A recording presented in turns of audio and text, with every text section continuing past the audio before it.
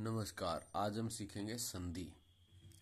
संधि स्वर और वर्णों के आपसी मेल से संधि बनती है। इनमें जो विकार उत्पन्न होता है, जो मात्रा बदलती है, उसको फिर हम संधि कहते हैं। तो सबसे पहले आपकी है दीर्घ संधि। दीर्घ संधि। दीर्घ जो संधि है, इन दोनों का आपस में मिल करके आ बन जाना। और इन दोनों का आपस में मिल करके बड़ी ई बन जाना। इन दोनों का मिल करके आपस में बड़ा ऊ बन जाना।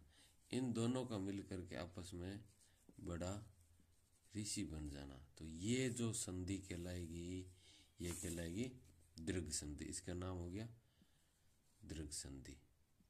अच्छा। अब हमें समझना है इसके बाद कि ये बनती कैसे है। जैसे ये देखिए। हिम हिम प्लस आल्य, क्या बना? हिमालय। तो ए और आ, आपस में मिलकर के आ बना। ये ए और आ, आपस में ऐसे आपस में कैसे ही जुड़ सकते हैं? ये आ ही बनेगा तो दीर्घ होगा। दीर्घ का मतलब होता है बड़ा। बड़ा बड़ा या बड़ी मात्रा जब बनती है तो दीर्घ कहलाती है। ई की है, देख लो, ई की महिष है, जैसे ये लिखा हुआ। महिष महिष महिष ये दिख रहा है? महिष ये महिष का मतलब क्या हुआ? इसमें बड़ी ई आ गई है। अच्छा ठीक है। जैसे ये ऊ वाले देखो, सुक्ति है, सुक्ति। सुक्ति देख सकते हैं। री का उदाहरण देखना है। री का उदाहरण देख लिए पितरण हो गया। री का उदाहरण पितरण हो गया। तो ये आपकी दीर्घ संधि होगी। अभी यही अभी हमने दीर्घ संधि को क्लियर कर लिया। अब सीखेंगे हम गुण संधि कैसे होती है। गुण संधि में आपको ये ध्यान रखना है। देखो, गुण गणेश में होता है। ठीक है? गुण गणेश जी में ज़्यादा होता है है ना? तो इस हिसाब से क्या बना क्या? गण प्लस ईस तो ये शब्द बन गया गणेश। तो ये यहाँ ए था, प्लस में ई था। ठीक है? तो इन दोनों के मेल से क्या बना क्या? ए ए डी बन गया। क्या बन गया? ए ए डी यही हमें समझना है। उदाहरण कुछ देख लेते हैं। ए और ई आपस में ए होता है और ए और उ आपस में मिलेगा तो ओ हो जाएगा, जैसे देवर्ण है। ऊपर वाला जो रे होता है, वो गुण संधि का उदाहरण होता है। ऊपर वाला रे, जैसे ये देखो, वर्ण के ऊपर वाला रे है। ये ऊपर वाला रे गुण संधि का उदाहरण होता है। दूसरे शब्दों में अगर हम कहें तो एक मात्रा जो होती है, वही गुण संधि का ही उदाहरण में ऊपर से एक मात्रा लगे या रे, ऊपर वाला रे तो ये गुण संधि के उदाहरण होते हैं। अब हम पढ़ते हैं वर्दी संधि। वर्दी संधि की सीधी सी पहचान है, ए आ के बाद में ए आई, मिले तो बड़ी हो जाएगी ये मात्रा, ठीक है ना?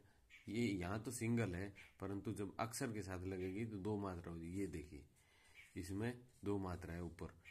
वर्दी संधि की बस सीधी सी पहचान है, ऊपर दो मात्रा होगी। जैसे देखो, ये हमने बना रखा है, शुभ प्लस में एसी सुबेसी सुबेसी बन गया। अच्छा इसके बाद में हम बात करते हैं यण संधि की। यण संधि जो है, यण संधि में ये कैसे बनता है, इसका हम ध्यान रखेंगे, इस ये को ये को कैसे बनाते हैं, देखो।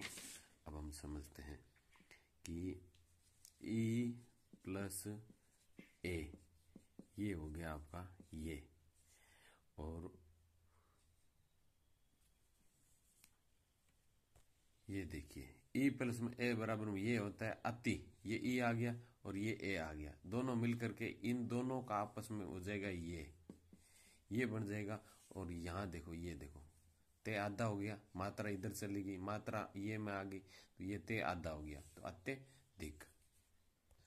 ऊ का उदाहरण लेते हैं, यण संधि का। ऊ प्लस में ए बराबर वे होता है तो ये सु प्लस में ए तो ये हो गया स्वय ये स्वय हो गया, क्योंकि इसमें से मात्रा निकल गई।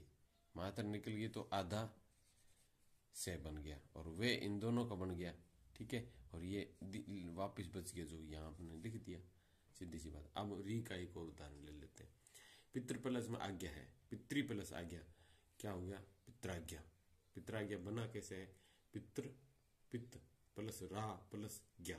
पित्त प्लस रा प्लस ज्ञा पित्राज्ञा ये थे उदाहरण यण संधि के। अब समझेंगे हम अयादि संधि। ए, आई, ओ, औ, इनके साथ कोई दूसरा स्वर आता है तो अयादि संधि हो जाती है। जैसे नए नए प्लस नयन बना, ठीक है? गई प्लस अक, गायक बना। भो प्लस अन, भवन बना। और प्लस में उक भावुक बना। तो इस ए के आई के साथ में ए मिलने से अय बनता है और इसके साथ में ए या आ मिलने से आय बनता है। ओ के साथ में ए मिलने से औ बनता है। औ के साथ में उक मिलने से, यानी कि आओ औ के साथ में ए मिला तो आओ तो इसके साथ में ये आ आ हो गया। आ के बाद में ये बहु प्लस में उ, भावुक। अब हम पढ़ते हैं व्यंजन संधि। व्यंजन संधि के लिए हमें ये देखना है कि सत प्लस विचार, सद विचार। तत् प्लस में, तन में। मुख प्लस छवि, मुख छवि। उत प्लस शिष्ट उत्शिष्ट उत प्लस चारण, उच्चारण। सम प्लस कर संकर वी प्लस सम विषम उत प्लस हार उद्धार सत प्लस कार सत्कार सम प्लस योग संयोग वी प्लस सनु विष्णु प्र प्लस नेता प्रणेता तो ये व्यंजन संधि के दस नियमों के, बारह नियमों के, दस बारह नियम है, उनके उदाहरण एक एक ये याद हो जाएगा तो व्यंजन संधि आपको याद हो जाएगी। विसर्ग संधि के कुछ उदाहरण पढ़ते हैं। पुर प्लस हित, पुरोहित। नी प्लस जन, निर्जन। नी प्लस चल, निश्चल। नी प्लस पाप, निष्पाप। नी प्लस रव, नीरव। यश प्लस इच्छा यश इच्छा। अतः प्लस करण, अंतकरण। मन प्लस अभिलाषा, मन मनो अभिलाषा मन प्लस अभिलाषा मनो अभिलाषा और अंत प्लस करण अंतकरण। तो ये आपके विसर्ग संधि के आठ नियम है और ये आपके व्यंजन संधि के दस नियम है। अगर वीडियो लाइक अच्छा लगा हो तो लाइक करो, शेयर करो, सब्सक्राइब करो। धन्यवाद।